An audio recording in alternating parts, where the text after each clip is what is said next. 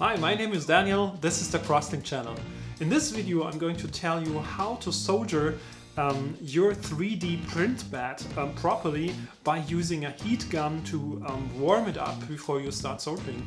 But to do that you, we are going to build a holder for the heat gun, which is a pretty useful thing. So if you're going to use a heat gun and then do the soldering at the same time, you're going to need somebody else to hold this for you or you need um, a helper tool and we're going to build this helper tool in this video coming up right now.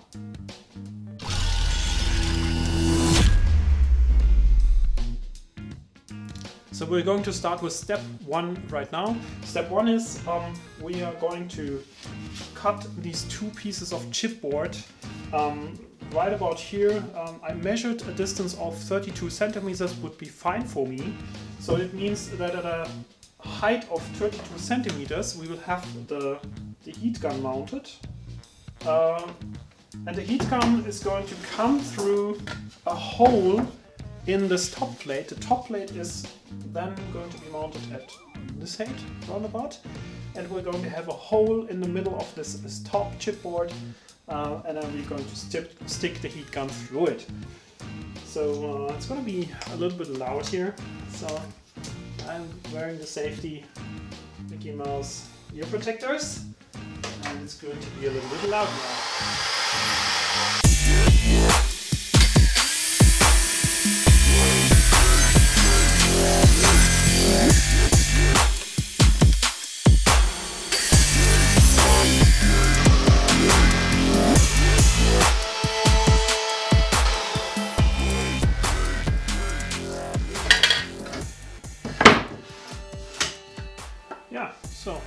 Good.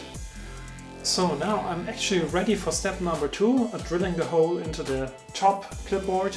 Um, to measure out the size of the hole that we need, uh, we can use um, a tool that's called a sliding caliper, which is just measuring the distance between these two brackets here. And we're going to find out how large the hole needs to be at the largest diameter. So the largest diameter here seems to be 6.3 centimeters. And there is um, a tool for that. Um, we can look into the box and there's actually one that has 64 millimeters, which would be perfect, I guess, for this kind of job. So I'm now ready to drill. Um, mounted the, the hole driller to my electrical drill machine. Um, I've made a cross here in the middle of the board. Uh, so just measured this distance here, took the middle and I measured this distance here and took the middle and so I could make this cross.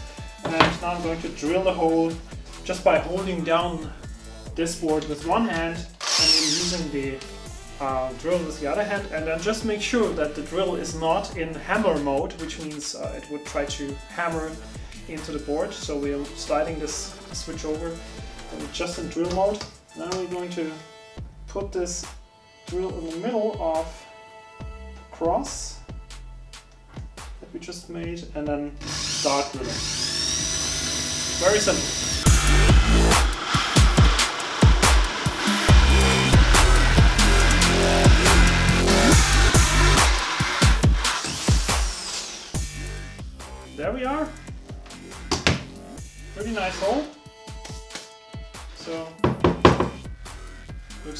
So let's see if the the heat gun fits through the hole. Ah, perfectly, perfectly.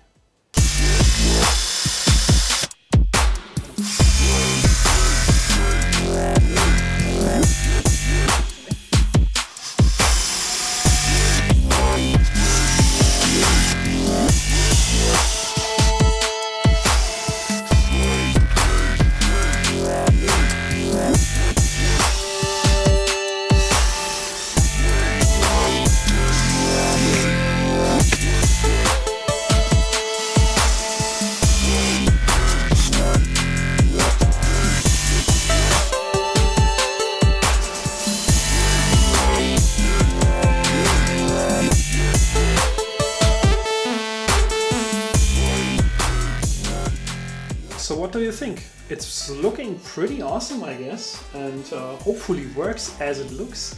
and that's what we're going to do. Right now we're going to do some soldering uh, on my 3D printer's uh, heat bed to try it out and to actually fix my 3D printer finally. Okay, so we're ready to go. I've prepared the hot gun. The heat bed is uh, directly underneath. Um, these are the old cables basically that I have uh, desoldered already from the board from, from this uh, hotbed.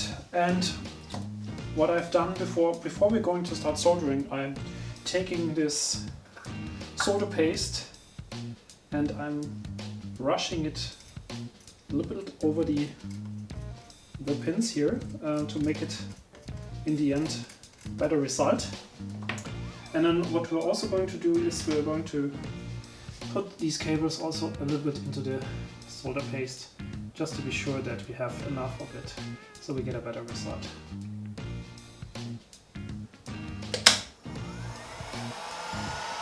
So I've turned it to around 200 degrees and so we wait now for about two minutes.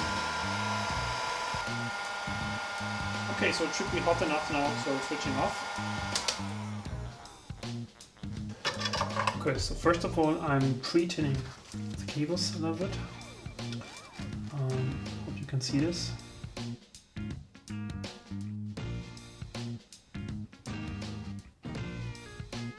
Okay. And now we're uh, yeah, fixing the cables to the bed.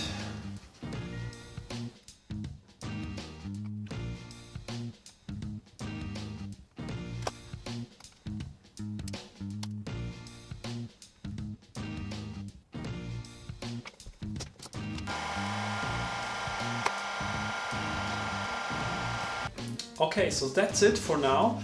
Um, the result looks pretty fine. I guess uh, the heat gun definitely helped getting the necessary heat onto the pins um, so it doesn't cool down too fast. Um, so, and I guess if you want to build uh, this construction, if you want to build the hot gun uh, helper tool, um, I've put all the materials in a list in the description below this video. Uh, also all the tools that I've used. Uh, so if you want to try it out, uh, go ahead and, and, read my description. Um, please comment if you have any suggestions, if you have any problems doing that, uh, building that, if you have any uh, improvements that you would suggest, I would also be very happy if you do a comment below. And yeah, if you want to see more videos like this, please hit the subscribe button. And if you want to get notified every time I post a new video, also hit the bell. So see you next week um, for another video um, where I'm going to show you a few modifications on my 3D printer and some ideas to make it more secure. So see you there, bye bye, have a good week.